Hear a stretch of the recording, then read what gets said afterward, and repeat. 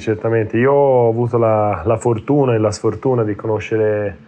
Alexander Sapic la prima volta agli europei giovanili di Essingen nel 95,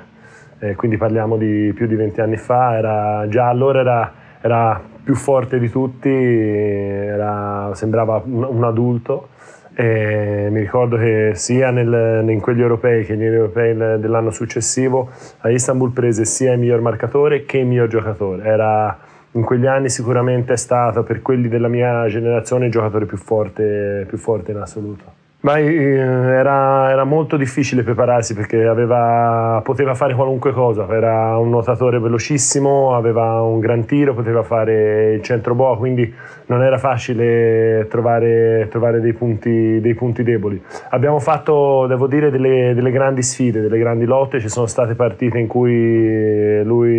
è stato più bravo, ha fatto più gol, ci sono state anche partite in cui l'ho messo in grande difficoltà perché poi quando sin da piccolo giochi con, con, un attaccante impari, inizi a prendere le misure, impari quali sono i suoi punti deboli, il modo in cui tira e quindi ci sono state tante occasioni in cui anch'io l'ho messo in difficoltà. No, eh, so che si è buttato in politica, sicuramente la pallanuoto è cambiata da quando, da quando, lui ha smesso, posso solo fargli un grande in bocca al lupo per la sua, per la sua futura carriera, sarà stata una scelta non facile quella di, di terminare la pallanuoto, è un giocatore che poteva ancora, ancora dare tanto al nostro sport, però se ha fatto questa scelta sicuramente avrà visto lontano nel futuro e quindi più grande in bocca al lupo per la sua carriera futura.